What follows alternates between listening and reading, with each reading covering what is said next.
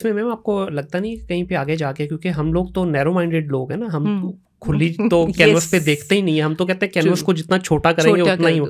कल को आपको नहीं लगता कि पेरेंट्स ये सोचना शुरू कर देंगे अच्छा अब हम इतनी महँगी एजुकेशन भी दिलवाएँ। हम्म। कोई कहेगा जी हम अपने बच्चे को तरखान बनवा रहे हैं। कोई कहेगा कारपेंटर कोई कहेगा जी मैं पेंटर बनवा रहा हूँ। कोई कहेगा मैकेनिक बनवा रहा हूँ। हाँ। एक्चुअल लाइफ तो यही है ना। हम्म। देखिए बाहर की दुनिया में जो मॉडर्न वर्ल्ड हैं।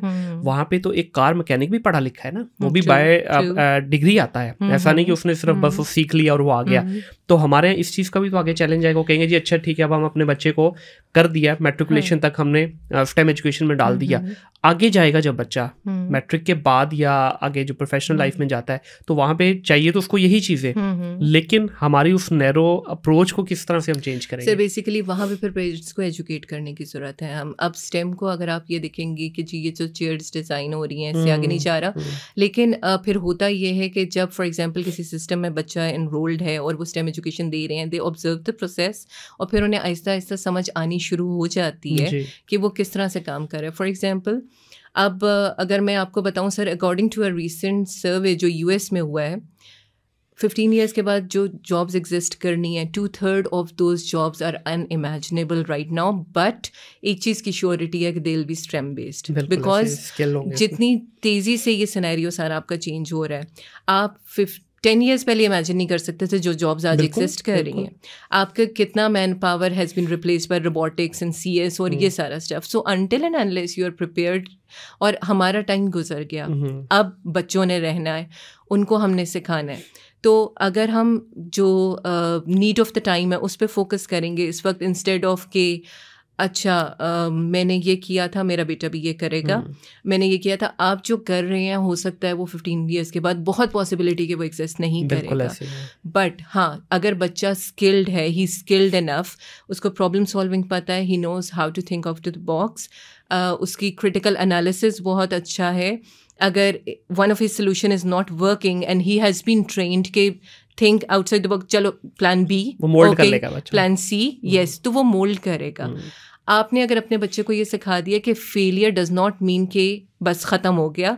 फेलियर मीन्स कि अच्छा ठीक है try the next step you can take take the next step there are alternative ways तो it's about the mind set which is frame फिर अगेन जो पॉलिश होता है आपके स्टेम बेस्ड जो एजुकेशन है या करियर्स हैं एंड सिर्फ़ बाकी आप अ, देख लें एस्ट्रोनॉट्स हैं हम्म, आपके कंप्यूटर इंजीनियर्स हैं आपका बैंकिंग सेक्टर में there STEM STEM is everywhere तो अगर आप ये सोचेंगे कि हाँ मेरा बच्चा स्टेम करके limited the opportunities are limitless अभी on my way I was hearing एक टेट टॉक थी by Stephanie Hill U S based computer engineer है।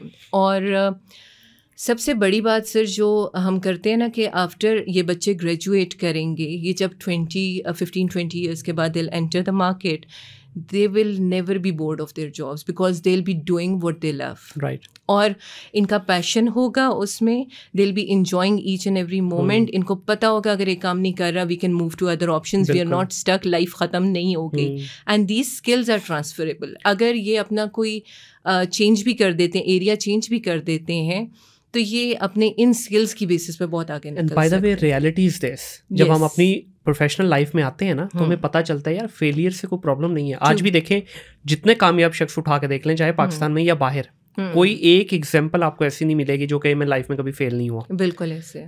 दो तरह के लोग हैं जो लाइफ में फेल होते हैं हम्म, गिर जाते हैं कुछ नहीं हो सकता हमारा अल्लाह हमारे से नाराज़ हमारे से हम्म, मुआशरा हम्म, हम्म, दूसरे लोग हैं वो गिरते हैं हम्म, वो मोर स्ट्रांगली कम बैक करते हैं एग्जैक्टली exactly, तो यही exactly. चीज़ आपकी एजुकेशन सिस्टम जो सिखा रहा है वो हम्म। यही तो है ना देखिए एक बच्चे को आपने दस बारह पंद्रह साल की एज से पहले दस दफ़ा गिरा दिया ट्रू फिर उठा दिया वो हम्म। तो हैबिचुअल हो जाएगा उस चीज़ का हम्म, जिस तरह एक स्पोर्ट्स पर्सन है स्पोर्ट्स पर्सन कभी भी अपनी प्रोफेशनल लाइफ के अंदर हारता नहीं है ट्रू उसकी वजह ये होती है कि वो हम्म। रोज ग्राउंड में जाता है जीतने के लिए लेकिन हम्म। हार जाता है तो क्या वो ग्राउंड जाना छोड़ देता है? नहीं तो बिल्कुल फिर ऐसे कि जाता है। ट्रेन उन्हें ऐसे किया गया है। Basically this is their training और यही बहुत स्ट्रॉन्ग पॉइंट है स्टेम एजुकेशन का कि हम्म। आपके बच्चा राइट फ्रॉम प्ले ग्रुप इन्हीं लाइंस पे ट्रेन हो रहा है। बिल्कुल ऐसे ही है। अनफॉर्चुनेटली मैट्रिक में जी सप्ली आ गई। ओहो बड़ा नुकसान हो गया ये तो हो गया।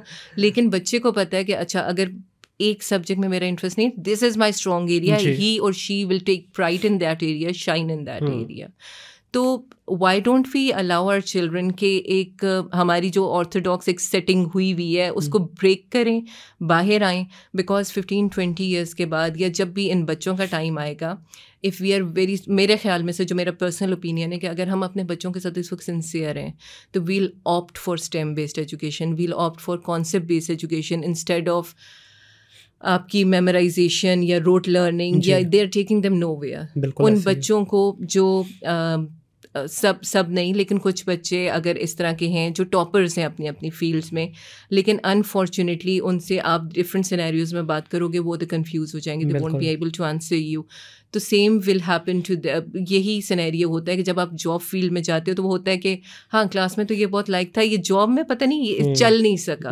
तो चल नहीं सका इज़ दिस फैक्टर बिकॉज़ इसके स्किल सेट उस तरह की डेवलप नहीं है एंड स्टेम के साथ sir the plus point is कि आपको ज़रूरी नहीं है कि आप कोई जॉब ही कर रहे हो it can help you in entrepreneurship as well because entrepreneurship में आपको क्या चाहिए? आपको यही स्किल सेट चाहिए जो आपको मिल रहा है। बिल्कुल ऐसे तो दोनों जगह आपकी विन विन सिचुएशन है।